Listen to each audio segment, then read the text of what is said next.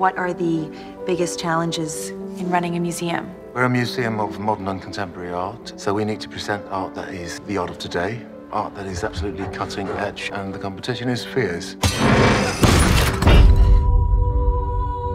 If you place an object in a museum, for instance, if we took your bag and placed it here, would that make it art? Ah. Okay.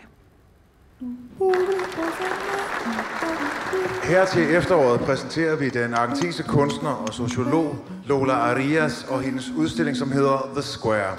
Vi kan ikke som museum lade os skræmme af udtrykt overskridende grænser. Det kan vi ikke gøre.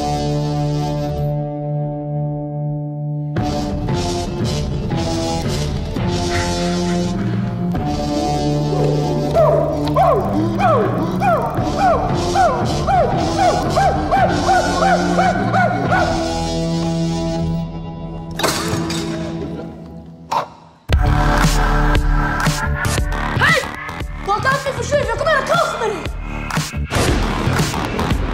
Nu är det dags för mat och vi har dukat fram en fantastisk buffé. Svampfylld rostad majskyckling. med- Jag vill jättegärna ta det lite lugnt. Ja, men lugnt! How often would you say that you take women that you don't know very well and have sex with them? You know their names? Ja. So what's my name?